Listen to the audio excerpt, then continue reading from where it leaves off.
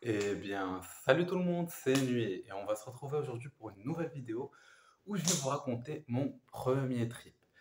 Du coup, avant que ça commence, je vais vous faire un big big euh, disclaimer, un big big attention. Déjà la base, je ne suis pas là pour vous inciter à consommer quoi que ce soit et l'inverse aussi est vrai. Voilà, tout simplement. Et dans cette expérience, je mélange deux substances que je ne connais pas euh, pour mon premier trip psychédélique. C'est pas du tout responsable et c'est une erreur de jeunesse que j'ai fait quand j'avais euh, quand j'avais euh, 18 ans. Et du coup, j'espère que vous apprendrez de mes erreurs pour ne pas refaire pareil justement. Voilà.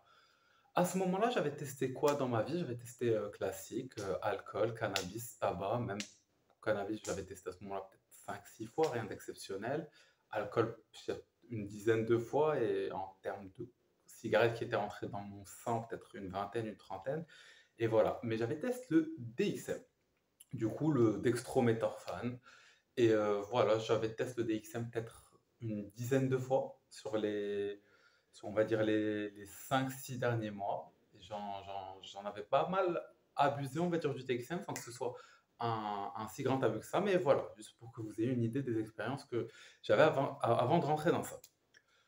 La veille de cette expérience, euh, j'avais pris du lait à la bœuf. Du coup, on était avec euh, des amis, on savait que le lendemain matin, on n'avait pas cours et on avait fait un, du lait, on avait mis beaucoup de bœuf et voilà, on l'a laissé touiller pendant une heure et ça nous, a fait un gros, gros high au cannabis. Surtout, c'était, euh, surtout que j'étais naïf au cannabis à ce moment-là quasiment.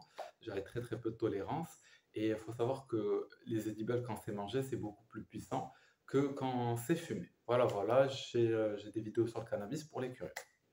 Du coup, j'avais quoi? À ce moment-là, je, venais d'avoir et du LSD, que vous connaissez tous, en tout cas, bon, c'était du 1PLSD, un, un dérivé quasi identique, et de la MXP. Qu'est-ce que la MXP? C'est de la méthoxphénidine. Et qu'est-ce que la méthoxphénidine? C'est un dissociatif, on va dire, qui est proche de la kétamine ou de la MXE pour les connaisseurs. Voilà, voilà, je pense que cette molécule n'existe plus aujourd'hui, ou peut-être que, enfin, n'existe plus, hein. Peut-être que quelqu'un en a chez lui dans un fond de tiroir. Mais voilà, j'en ai plus entendu parler depuis des années. Qu'est-ce que j'ai fait quand, j'en avais? Bah d'abord, j'ai eu le timbre et je me suis dit, j'ai cours l'après-midi, à la limite, je vais microdoser. Et du coup, je prends le timbre et je, je mords un petit, un petit bout au quart, peut-être un petit 5 microgrammes ou quoi. Et puis, euh, 5 minutes après, je me dis, ce serait peut-être pas assez. Et puis, je mords un autre 5 microgrammes l'autre quart. Et puis après, je me dis, c'est pas assez. Et puis, je mords l'autre. Et puis, je me dis, c'est pas assez. Et puis, je, je mords l'autre quart. Et puis, je me dis, je dois aussi tester la XP. Du coup, je me fais un tout petit rail que j'ai équivalu à peut-être 15-20 milligrammes. Il faut savoir qu'à l'époque, j'avais pas de balance. Et big, big, big, big di- disclaimer, n'utilisez pas des molécules qui se dosent au milligramme ou même euh, au 10 milligrammes près sans balance. C'est complètement dangereux et suicidaire. Il y a même des, des- molécules qui peuvent tuer, qui sont mortelles à partir de, de- de 1 ou 2 milligrammes. Du coup, vraiment, doser à l'œil, c'est quelque chose qui ne peut pas être fait. Encore, euh, encore des, des- Tu peux doser à l'œil, je sais pas, du, du- de, la viande hachée, tu vois. Oh, c'est à peu près 200 grammes, ça fait euh, 25 grammes de protéines. Mais non, mais tu peux pas doser à l'œil ce genre de truc. Mais bon, j'ai eu de la chance et à ce moment-là, il m'est rien arrivé. Et c'est une substance qui, en général, se dose pour un vrai trip plus autour de 80-100 mg. Du coup, je savais ou je pensais savoir que je faisais attention, mais bon, faut savoir que quand on est découvre quand on est jeune, on a l'impression de prendre des précautions, mais on les prend pas forcément. Du coup, à ce moment-là, je devais avoir pris l'équivalent de 25 microgrammes et puis de 20 mg de MXP, qui, je pense, c'est une dose qui est à peine dans le, début du light. Et je me rappelle que je me suis dit, bon, en fait, je vais pas aller en cours. Genre, en fait, cet après-midi, je vais pas en cours, euh, c'est tout simplement pas possible. Du coup, je vais voir un ami à moi avant qu'il aille en cours. J'essaie de lui expliquer. Bon, il comprenait pas trop. Mais moi, je regardais le soleil, je voyais des petites lumières, des, des- comme s'il y avait des trucs bizarres dans le soleil. Je voyais, je voyais les couleurs, je me sentais un peu détendu ou des sensations un peu étranges. Je sais pas. Tout ce que je sais, c'est quand mon, ami est parti en cours, je me suis senti un peu seul. Du coup, je suis rentré chez moi et je me suis dit, autant avoir séché les cours, autant bien triper. Mais du coup, je voulais prendre plus que 25 microgrammes. Qui 25 microgrammes, c'est vraiment léger. Genre, le seuil du perceptible, il est à 10-15 à peu près. Genre, euh, voilà, voilà. Qu'est-ce que j'ai fait vu que j'avais mordi tous les bords et qu'évidemment, je pouvais pas juste prendre un timbre de 100 microgrammes en deux, dire voilà, j'ai 50. J'ai dû faire des triangles sur les côtés, calculer euh, l'air du carré. Du coup, j'ai dû voir qu'il faisait 9 mm de côté, me dire que du coup, il y a 81 mm carrés, me dire que je devais faire des triangles rectangles et calculer l'air de chacun des triangles rectangles pour savoir la dose que j'avais pris. Euh, ça m'a pris un petit moment, pas tant que ça, mais ça a bien fait travailler mes méninges. Et du coup, voilà, après, je, après j'ai découpé chaque bord, j'ai calculé les triangles rectangles. Et à la place de, pour tester 50 euh, microgrammes, de découper en moitié un truc de 100 microgrammes, non, j'ai transformé un carré en une sorte de, quadrilatère de, bas de gamme. Voilà, tout simplement. Et j'ai aussi rajouté un petit 20 mg de MXP, l'équivalent que j'avais pris, voilà, pour rester dans la RDR pas, pas vraiment top. À ce moment-là, les effets commencent un peu à monter, je stresse. Et quel est le réflexe que je fais? Euh, Je vais mater du porno. Voilà. Bravo monsieur, excellent, excellent manière de triper. Voilà, mais il faut savoir que bah, l'addiction au porno, c'est quelque chose qui vraiment, bah, ça, c'est... Il y a plein de gens qui le font pour évacuer l'anxiété, etc. Et il n'y a jamais vraiment quelqu'un qui... Enfin, je pense beaucoup de consommation du porno dans le monde, c'est plus une fuite de la réalité que vraiment quelqu'un qui cherche quelque chose, un désir sexuel, un besoin, etc. Du coup, si jamais il y en a parmi vous qui sont vraiment curieux je fasse une vidéo sur l'addiction au porno, tout simplement, mettez-moi en commentaire genre, les catégories les plus cheloues sur lesquelles vous êtes tombé. Et si je vois que vous êtes bien, bien chelou et que vous avez besoin un peu que je vous en parle, avec grand plaisir, les amis. Du coup, je me rappelle que je voyais, je me dis, ouais, il y a plein de vidéos, il y a plein de diversité. Putain, mais il y a des, vidéos infinies. Je pourrais passer ma vie à regarder du porno, j'aurais pas tout fini. Et voilà. Après, quand je finis, j'ai encore le cerveau qui va beaucoup trop vite. Qu'est-ce que j'ai fait?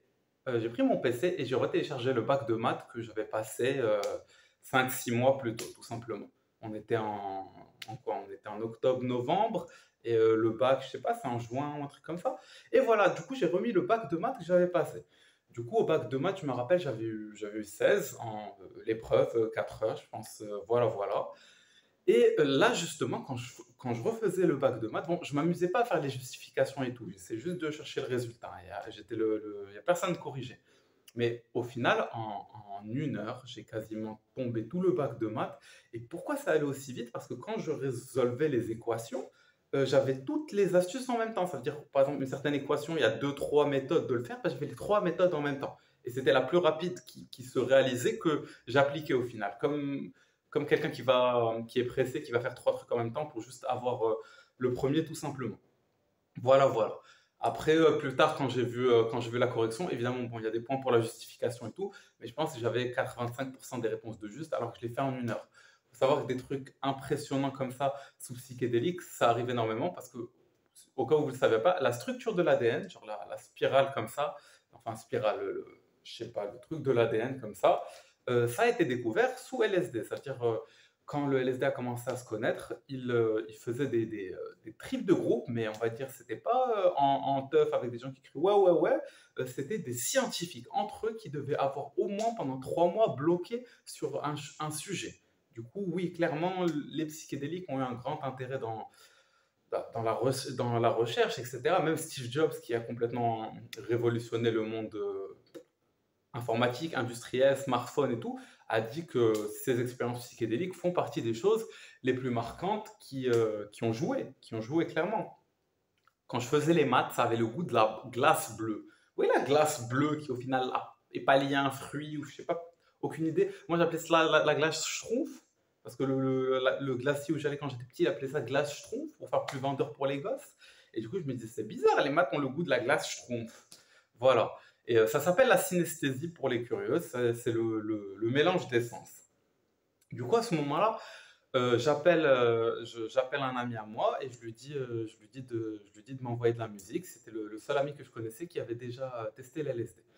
Du coup, il m'envoie deux musiques. Il m'envoie Warax Bleu et il m'envoie, il m'envoie un gars qui s'appelle Dishka, qui est complètement genre inconnu et qui a et euh, voilà, genre, il a trois musiques. Euh, sa musique avait 12 likes à ce moment-là sur SoundCloud. Et c'est un truc qui, qui est bien perché. Du coup, Warax Bleu, je ne peux pas vous la montrer parce qu'il y a des droits d'auteur et tout. Mais la deuxième, on va se l'écouter. Quand j'ai écouté Warax Bleu, j'étais parti. Genre, c'est la musique qui m'a le ça m'a touché un truc de malade, ça a transpercé mon âme. Genre, jusqu'au jour d'aujourd'hui, quand j'écoute cette musique, elle a toujours un truc spécial et je m'amuse pas à l'écouter en boucle. Je la garde vraiment pour les moments où j'ai envie je sais pas, de ressentir quelque chose de très profond. Et euh, bah, en vrai, tout simplement, je vais vous mettre tout simplement la musique de, la musique de Tishka, comme ça vous ayez une idée de qu'est-ce qui m'est arrivé.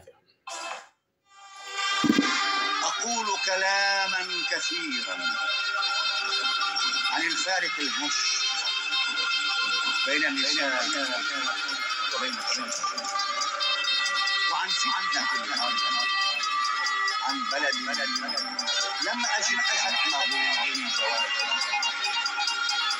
وأسأل يا سيداتي ويا سادة الطيبين. أرض البشر لجميع البشر كما تدعون. إذا إذا أين بيت بيت وأين؟ أين فتصفق لي قاعة المؤتمر ثلاثة دقائق ثلاثة دقائق حرية واحترام Et voilà, voilà. Je pense que vous avez kiffé. On va un peu la garder en fond, ça vous va Ok. Et après, bah, cette musique, elle m'a vraiment fait, elle m'a fait démarrer. C'est quoi? C'est de la, la psy-trance orientale, euh, Dark Forest, je sais pas quoi. Genre, à ce moment-là, je, je, je connaissais même pas des trucs comme ça. Et du coup, j'étais parti avec la musique et je me rappelle, j'étais dans une sorte de boucle temporelle où je faisais que pisser et boire. En plus, j'étais dans, dans un internat, j'étais dans un, un 9 mètres carrés. Du coup, si je voulais vraiment pisser, je devais aller jusqu'aux toilettes. Mais je voulais pas sortir dans cet état. Du coup, je pissais dans mon lavabo, puis je buvais dans mon lavabo, puis je pissais dans mon lavabo, puis je buvais dans mon lavabo, puis je pissais dans mon Et vous avez une idée de ce qu'est des boucles temporelles. Sur le moment, je me suis dit, je vais mourir parce que je bois trop d'eau. En vrai, sous psychédélique, on peut avoir des idées qui vont très très loin. Et voilà, et je me rappelle, j'avais appelé un, ami à moi et je lui avais dit, je goûte la musique, je, les sens se mélanger et tout. Il m'a dit, écoute, vas-y, est-ce que tu peux goûter un son pour moi? Euh, Il me balance PNL, il me balance, euh, j'ai oublié quelle musique de PNL, j'essaie de lui décrire, je dis, euh, euh tomate, hum, viande de kebab, cornichon, samouraï. Et me dit, il me dit bah, t'es dans un kebab en fait. Tu dois dire, euh, chef, rajoutez-moi deux timbres en fait. Mais bon. Et euh, voilà, après, je me suis retrouvé tout seul. Et je me rappelle quand je fermais les yeux, il y avait une sorte de jeu avec un lapin. Genre, j'avais des visuels où il y avait une sorte de lapin, pas que je suivais, mais je sais pas comment expliquer. C'était assez étrange. Mais je me rappelle juste d'un lapin, tout simplement. À ce moment-là, j'ai fait quoi? Je me suis dit, je ne pouvais plus rester chez moi, surtout, enfin chez moi, dans, dans, mon 9 mètres carrés, dans ma cellule de tôle, en fait, tu vois. Et euh, du coup, je, sors, et je me rappelle que le monde était. J'avais l'impression de voir le monde pour la première fois comme un enfant. Genre, les, les, arbres étaient magnifiques, la lumière, le soleil, tout. Je redécouvrais, c'est la première fois que, que je voyais, que, j'avais enfin une, une, transcendance de cette euh, hallucination linguistiquement renforcée dans laquelle on vit. Et je me rappelle à un moment, il y a un enfant qui courait, son, père qui, qui, qui, le suivait. Je trouvais ça trop beau, trop truc. Et du coup, je vais quoi? Euh, Je vais au Subway, j'ai faim et je vais au Subway. Mais du coup, quand j'arrive au Subway, moi, toute ma vie au Subway, je faisais des mélanges un peu de fou. Genre, je rajoutais des viandes cheloues, je mettais euh, moutarde, miel avec euh, samouraï, avec je sais pas quoi. Genre, à chaque fois que j'allais au Subway, il y a toujours quelqu'un qui me faisait une remarque Oh, c'est quand même bizarre ce que tu prends. Ne resterais-tu pas sur un classique, je sais pas quoi. Et du coup, quand j'arrive là-bas, il y a ça qui m'arrive en tête j'ai l'impression que c'est trop cramé que je suis perché. Genre, euh, pour ceux qui ont déjà trippé, vous savez que vos premiers trips, vous trop l'impression que tout le monde le sait. Et du coup, quand j'essaie de prendre mon Subway, je n'essaie pas de prendre une recette qui me plaît, j'essaie de prendre une recette qui n'a pas l'air bizarre. Et au final, la meuf qui était de l'autre côté du comptoir, elle s'en foutait complètement de ce que je foutais dedans. Mais moi, dans ma tête, j'étais dans un putain de calcul de je sais pas quoi je prends mon Subway, je vais, le, je vais le manger dans un parc et je me rappelle que quand je le, mangeais, en même temps, il y avait le côté psychédélique de la LSD qui faisait que les goûts étaient beaucoup plus renforcés tout. En même temps, il y avait le côté dissociatif de la mixture qui faisait que ça avait un petit côté métallique, mécanique de manger. Je sais pas comment expliquer. Et voilà, et je me rappelle, j'avais appelé mes amis pour, euh, pour essayer de leur expliquer, et eux, bah, ils ne comprenaient pas forcément le délire. Du coup, mon pote, il avait mis haut-parleur, et ils étaient tous un peu en train de délirer. Tout. Ils ne se foutaient pas forcément de ma gueule, tu vois, mais ils rigolaient et tout. Et moi, avec le trip, ça m'avait un peu fait bugger. Mais après, j'essaie de leur décrire. Je leur ai dit, je goûte la musique et tout. Et j'entendais un gars derrière qui dit, ouais, genre, juste il fabule, juste il dit n'importe quoi. Je me suis dit, putain, genre, juste ça qui a pas l'air d'être ouf comparé à tout ce que j'ai pu lire, genre partout sur, sur la puissance que pouvaient avoir des substances, on a l'impression que c'est un mytho, c'est une dinguerie. Et du coup, je dis à mes amis, je vais vous rejoindre, euh, je vais vous rejoindre à la fin des cours, tout simplement. Et je monte dans le bus et je me rappelle, il y avait, il y avait une femme qui était indienne, qui était très très belle. Et j'avais l'impression que c'était la, la, déesse hindoue Shiva, vraiment. Je, Je je sais pas comment expliquer, mais j'ai fait que la regarder comme ça. J'ai fait que la regarder. Et dans le bus, à ce moment-là, je sais pas pourquoi, je n'avais pas l'impression que quelqu'un se disait je suis bizarre ou quoi. Genre, j'étais vraiment tranquille. Et pendant tout ce temps, écouteurs dans les oreilles, euh, de la musique, et, voilà. À ce moment-là, bah, quand j'arrive, euh, je, commence, je vais attendre mes amis devant, la sortie des cours. Puis je me dis, attends, il reste encore une heure et demie. Puis du coup, je me dis, je vais directement attendre mon pote devant son appart. Et je reste. Et puis, je sais pas ce que je fais. Et puis, mon tel, à un moment, il a plus de batterie, il s'éteint. Euh, je sais pas quoi faire à ce moment-là, vraiment. Genre, je me dis, j'ai rien à faire, j'ai même pas de musique. Et du coup, je toque chez sa voisine, je connaissais un peu, elle était complètement en pleine révision. Je lui dis, s'il te plaît, t'as pas un chargeur de, iPhone, Samsung, aucune idée de ce que j'avais. Elle me dit, oui, oui, bien, oui, oui, bien sûr. Je lui passe le tel, je lui dis, est-ce que tu peux me, est-ce que tu peux me le mettre à charger? Et du coup, là, je sais pas quoi faire. Je me dis, il reste encore euh, une heure. Je me dis, je vais faire un tour, je vais faire un tour, puis je vais aller les attendre. Je fais un tour tranquille. euh, La, nuit commence à tomber, je pense, à peine. Et je me retrouve devant un lampadaire qui bug. Genre un lampadaire qui est en mode. Un putain de lampadaire stroboscopique. Et du coup, je me pose devant le lampadaire et pendant 5 minutes, je fixe le lampadaire et je pars complètement en trip. Et voilà, il y a des gens qui passent, je me dis, il doit se dire, ce gars, il est pas net. Et j'étais pas net. Hein. Du coup, ces gens, bravo, vous avez un esprit déductif efficace. Et après, au bout d'un moment, je vais attendre mes amis devant, euh, genre devant la sortie des cours. Je me rappelle, j'ai pris une chaise et je me suis posé euh, genre, euh, dans, un coin de, la, cour de récré, on va dire. Et, et voilà, j'attendais. Et à ce moment-là, j'étais obligé de faire face au vide, à l'ennui, à tout ce qu'on appelle l'ennui quand quelqu'un dit ouais, je m'ennuie trop, je me fais chier, je m'ennuie trop. Non, au final, l'ennui, c'est une fuite de la souffrance. Et on essaye d'éviter ce qu'il y a derrière. En soi, les moines, ils passent toute leur jou- journée à méditer comme ça, ils font rien à part des trucs archi basiques, ils ne s'ennuient pas du tout. Du coup, l'ennui, c'est une sorte de résistance à la souffrance quand il n'y a pas de moyen euh, de la fuir. Du coup, ça m'a permis de faire face à certaines choses. Je dirais c'est vraiment le moment du trip qui avait un côté hum, thérapeutique ou au moins introspectif, on va dire, alors que les autres côtés du trip, j'essaie juste un peu de, de, de, de- me perdre dans la musique, euh, les, les, les- maths ou la nourriture ou quoi. Et du coup, à ce moment-là, qu'est-ce qui s'est passé? J'attendais mes amis, c'était la sortie des cours et je les vois pas sortir. Je vois d'autres gens de ma classe qui sortent, mais pas eux. Euh, J'ai su plus tard qu'ils étaient sortis par la sortie en bas pour arriver un peu plus vite parce qu'ils s'inquiétaient pour moi.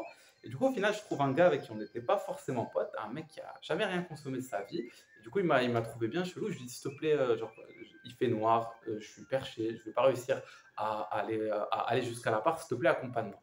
Euh, du coup, on arrive à l'appart, les gars, ils sont pas là, ils étaient en train de me chercher partout. Du coup, ils, euh, les appellent et, euh, et les gars, ils viennent et tout. Ils me disent, putain, t'étais où? On s'est inquiété pour toi.